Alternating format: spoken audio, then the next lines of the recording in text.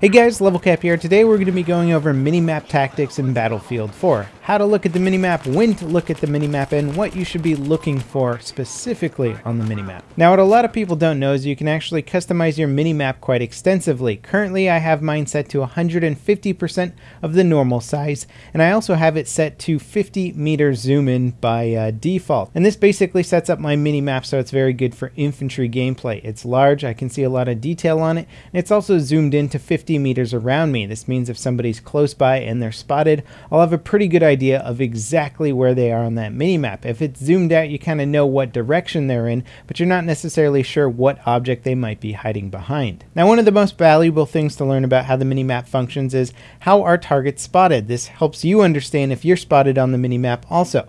You'll see here that I'm actually not using the Q button or the spot button to find my target. As long as my crosshair is near my target, it'll actually spot them on the minimap for everyone to see. So even without hitting the spot button, you're already providing intel for your teammates whether you wanted to or not. Keep this in mind as well if somebody is shooting in your general direction, that means they've spotted you momentarily for their entire team, even if they didn't use the Q button. Now I've spotted this player and we can watch them run away out of my line of sight and see just how long they're actually spotted for. Obviously spotting somebody with the spot mechanic is much more useful than just aiming in the general direction. You'll also get bonus points if your teammate kills somebody that you've spotted. Now what if somebody's out of your line of sight but they're shooting an unsuppressed weapon? Well, it pops them up on the minimap for a fraction of a second.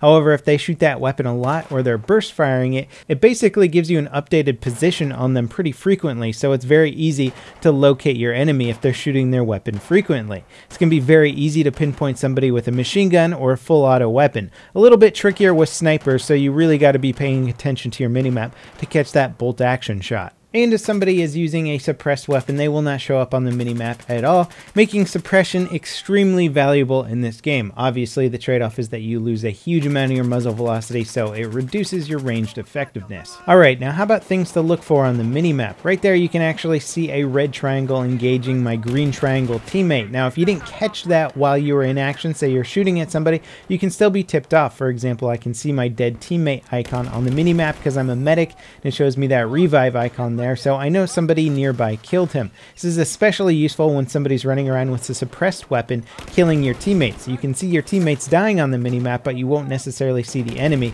It'll at least let you know what area the person with the suppressed weapon is probably operating. Now, most of the time, I'd say about 80% of the time I'm playing this game, my actions are dictated by what I see on the minimap. I went all the way out here because I was hunting down people that were popping up on the minimap, either from my teammates spotting them or them just being exposed from firing firing their weapons. This is something that I am constantly looking at, and one good rule of thumb and one thing to try and make a habit out of is check your minimap as frequently as possible, and you can start off the rule of thumb of look at the minimap when you're reloading your primary weapon. Obviously not quite as useful when you're using a machine gun since you don't reload it as frequently, but it's a good time to do it because you can't really engage your opponent while reloading, and usually if you're a decent player, you've taken some cover anyway during the reload process, so it's a great time to divert your attention from the screen to the minimap. Now you'll notice because I am using a 50 meter zoomed minimap, it gives me a lot of detail and precision in locating my enemies. However, it doesn't let me know what's going on further around the map. For the most part, I don't need this information as frequently,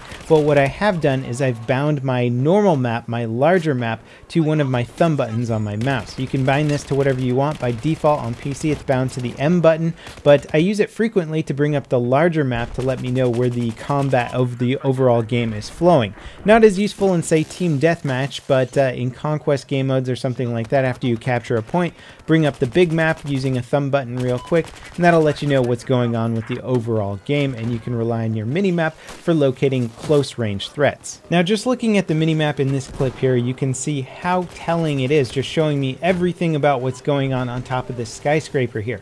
Battlefield is more reliant on the mini-map than most other shooters. And this does help for clearing off large quantities of players on conquest points and stuff like that. Spotting and just showing up when you fire your weapon really does give away your position and it allows the other team to try and clear you out since in Battlefield, if one player is left alive, his entire squad can respawn on him. So it is important to be able to wipe out an entire squad in a certain area of the map. However, the same mini-map rules still apply to game modes like Team Deathmatch, where the whole point of Team Deathmatch is to try and sneak around and outsmart your opponents, and when you get spotted on the mini-map all the time, it becomes much more difficult to do that which is why I'm a big advocate for using the suppressor, especially on Team Deathmatch game modes, because it gives you such a huge advantage over your opponents. You do, however, want to be careful about relying too heavily on your minimap.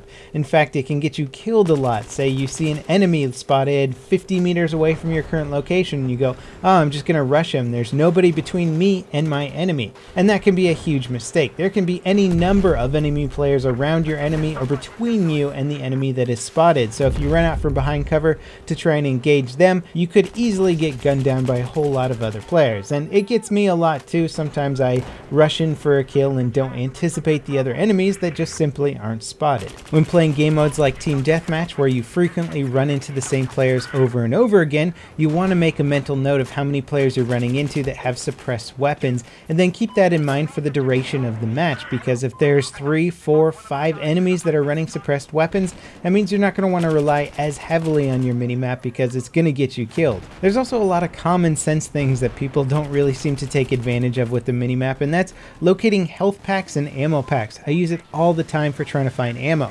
I used to run around and try and find a support player and go ask him for ammo. That can be a lengthy process and sometimes never give you ammo because they don't know what you're trying to do. That's kind of been one of the long time issues with Battlefield. Hardline kind of fixed it with you being able to take ammo and health from your teammates, but in Battlefield 4 you're going to need to look on that minimap to find those health and ammo packs. It usually doesn't take too long, especially in like a TDM server or something like that. As long as somebody's playing support, they'll be dropping down those ammo packs somewhere, so you just gotta run and find them. Now something that I think all players should do is to join a game and be as conscious as possible about when you're looking at that minimap. Make sure you're doing it in between reloads. Make sure you're doing it when you're not in a tense situation or when you need to locate your enemies. Do it as frequently as possible, but when you're in a safe situation or a situation that you think is safe. Chances are you're not looking at that minimap frequently enough, and being more conscious of it will slowly get you into the habit of looking more frequently.